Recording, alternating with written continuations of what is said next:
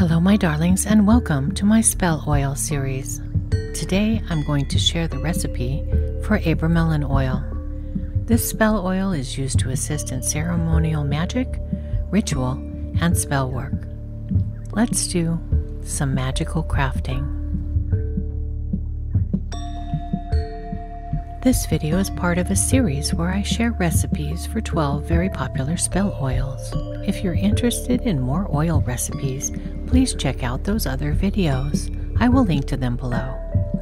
You can also watch a video in which I create a Book of Shadows page for each of the spell oils in the series.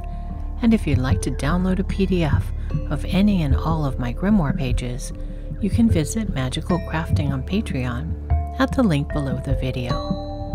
My patrons can download recipes, Book of Shadows pages, artwork, and more, all provided as PDFs. And I continue to add new downloadable content as I do more projects on the channel. I put this printable label sheet on my Patreon as well. This sheet includes a label for each of the 12 oils in the series. You can print it out on label paper or print it on regular paper and glue tape or decoupage it onto your master bottle. If you'd like to download a PDF of this label sheet, you can visit Magical Crafting on Patreon at the link below the video. Spell oils are also called conjure oils, and they're used in witchcraft, voodoo, hoodoo, and root work. Their uses are as varied as the people who make them.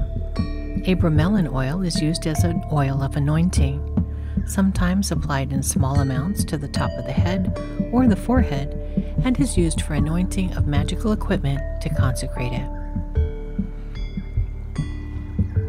Before I talk about each ingredient and what it adds to the oil, I usually say that you can find many recipes for the oils I make in books and online, and that the ingredients always differ slightly.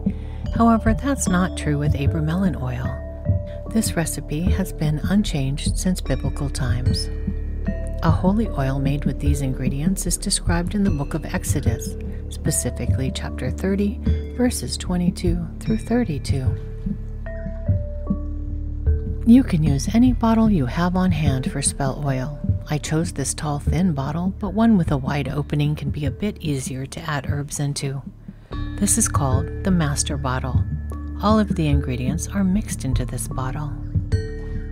I usually start with the dry ingredients, then add the essential oils, and finally add the carrier oil.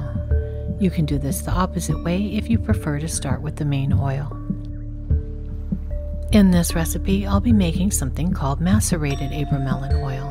That's because the herbs, spices, and resins are infused into the carrier oil over time. You can make another version of this oil by using only essential oils and the carrier oil. If you make this oil using essential oils instead of herbs, it's important to ensure that the essential oils are completely dissolved. This will have the effect of no longer burning the skin. Once dissolved, the olive oil will change from green to silver in color. The first ingredient is calamus root. Calamus root is also known as sweet flag. It's an ingredient that will help you sweetly get your way. Use calamus root for spell work for protection, wisdom, and contacting your spiritual patrons. Root workers use calamus to break curses, aid in gambling luck, and for boosting good luck in general. Additionally, they use it as a controlling herb, guiding the actions of other people it's thought to grant the bearer control over a person or a situation. Beyond controlling others, it's used to break jinxes or bring in good luck. It can also be used or burned as an incense to encourage spiritual, emotional, and physical healing. The second ingredient is cinnamon. Cinnamon brings luck while also boosting the power of the other herbs it's paired with. Cinnamon can be used to consecrate your spaces or magical tools. Burn cinnamon to stimulate your spiritual powers and increase your psychic ability and awareness. Cinnamon invokes lust and is considered an aphrodisiac. It can be used in love spells as well as for sex magic. It can be used in spells relating to success and can bring you luck. It's also great when used in healing spells. The third ingredient is cassia. I'm including both cinnamon and cassia in my oil because recipes from the past usually include one or the other. And because in medieval Europe it was difficult to obtain cinnamon and cassia as separate products. It's my opinion that they may be used separately or together. Cassia's legacy as an important trade good stretches to ancient Egypt, where it was used as an embalming agent for the pharaohs. Biblical references place cassia in Israel, where it was used both ritualistically and cosmetically. And cassia has been part of Chinese medicine and Ayurvedic practices for nearly 5,000 years. Using cassia noticeably increases energy levels.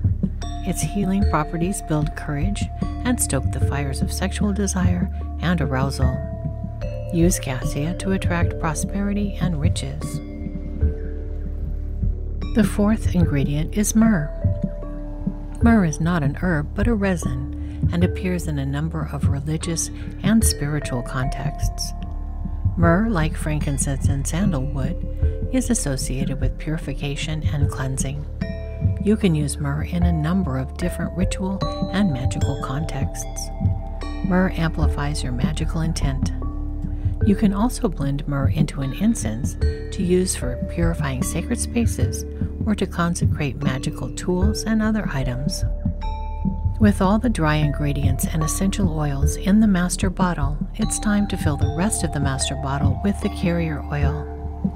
The carrier oil I'm using is olive oil, Usually, I say use whatever carrier oil you have on hand, but in this case, the recipe calls for olive oil specifically.